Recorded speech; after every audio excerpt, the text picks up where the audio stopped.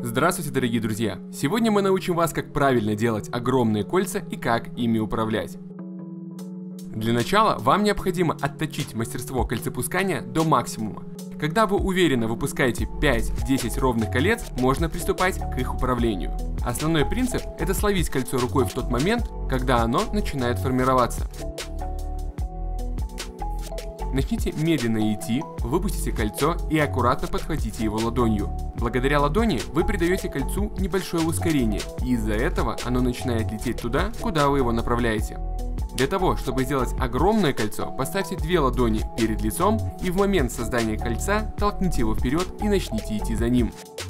Спасибо за просмотр, с вами был Сигаретник Бай и до встречи на нашем канале.